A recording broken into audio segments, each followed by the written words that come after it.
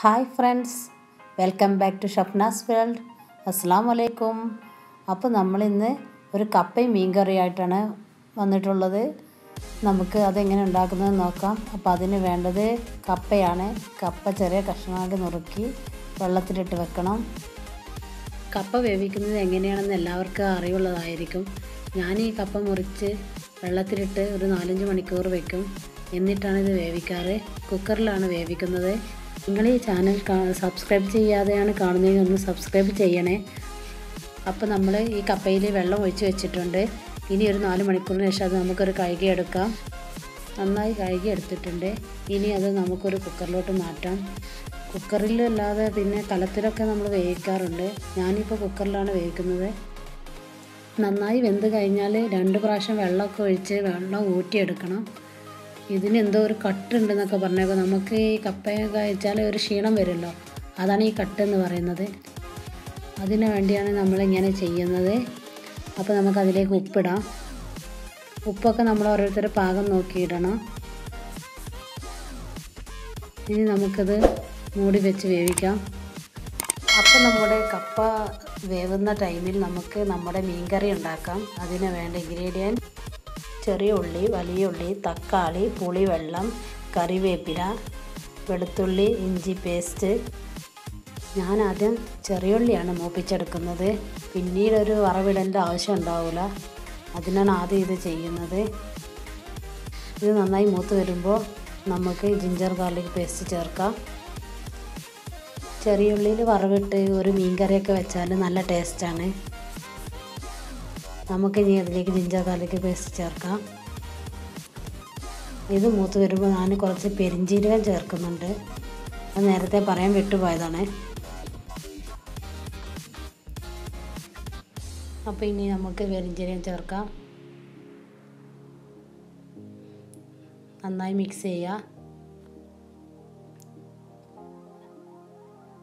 പെരിഞ്ചീരകം ഒന്ന് മൂത്ത് വന്ന ശേഷം നമുക്ക് ഇതിലേക്ക് സവാള ചേർക്കാം.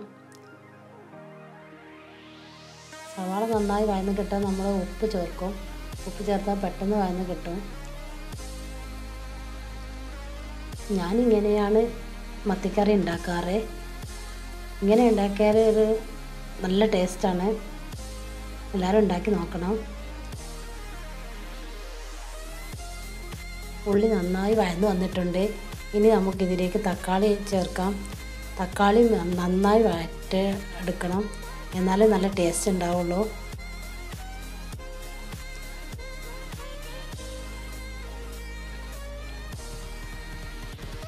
തക്കാളി ഏകദേശം വയന്ന് വന്നിട്ടുണ്ട്. ഇനി നമുക്ക് മസാലപ്പൊടികൾ ചേർക്കാം. മഞ്ഞൾപ്പൊടി അര ടീസ്പൂൺ ഇനി ഞാൻ മല്ലിപ്പൊടിയാണ് ഇടുന്നത്. മല്ലിപ്പൊടി ഒരു ടീസ്പൂൺ എടുത്തിട്ടുണ്ട്.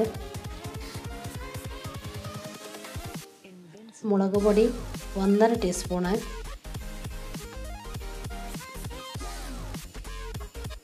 മുളകിട്ട കറിയല്ലേ അപ്പോൾ കുറച്ച് കളറൊക്കെ ഉണ്ടാവാൻ നല്ലതാണ്. കാശ്മീരി മുളക് പൊടി ഉള്ളവർക്ക് അതിടാം ഉപ്പ് ചേർത്ത്.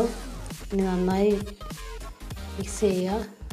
ഇതിന്റെ പച്ചമണം മാറുന്നത് വരെ വഴറ്റണം. അതിന് ശേഷം നമുക്ക് പുളിവെള്ളം ഒഴിക്കാം.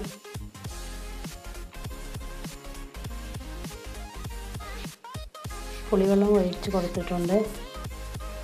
നന്നായി മിക്സ് ചെയ്യുക. കുറച്ചുകൂടി വെള്ളം ഒഴിച്ചിട്ടുണ്ട്.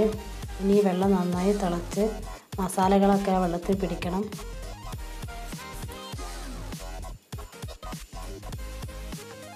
ഇനി നമുക്കിതൊന്ന് അടച്ച് വെച്ച് വേവിക്കാം. ആ നന്നായി തിളച്ചിട്ടുണ്ട്. ഇനി നമുക്കിതിലേക്ക് കരിവേപ്പില ഇടാം. കറി നന്നായി തിളച്ചിട്ടുണ്ട്. ഇനി ഇതിലേക്ക് മീൻ ചേർക്കാം. മീൻ വെട്ടിക്കഴുകി വൃത്തിയാക്കുന്നതൊന്നും ഞാൻ കാണിച്ചിട്ടില്ല. അതൊക്കെ എല്ലാവർക്കും അറിയുന്നതല്ലേ? അപ്പോൾ നമുക്കിത് നന്നായി വേവിച്ചിട്ട് വെള്ളമൊക്കെ ഒന്ന് വറ്റിച്ചെടുക്കാം. നമ്മുടെ കറി റെഡി ആയിട്ടുണ്ട്. ഒന്നുകൂടെ വേണമെങ്കിൽ വെള്ളം വറ്റിച്ചെടുക്കാം.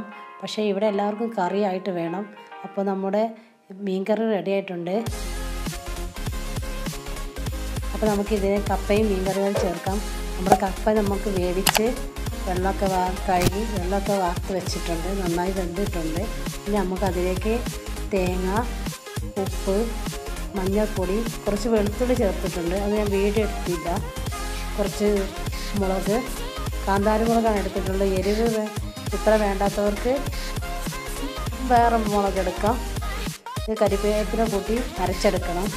ഈ മിക്സ് നമുക്ക് നമ്മുടെ കപ്പയിലേക്ക് ചേർക്കാം. ഇനി നമുക്ക് കപ്പ ഒന്ന് വറവിടാം.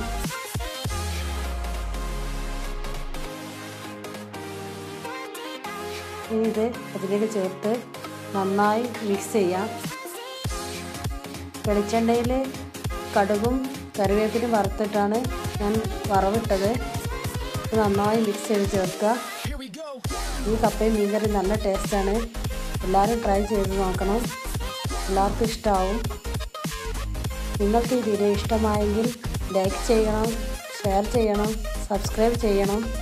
അപ്പോൾ ഇനി പുതിയ വേറൊരു വീഡിയോയുമായിട്ട് നമുക്ക് കാണാം. അതുവരേക്കും ബായ്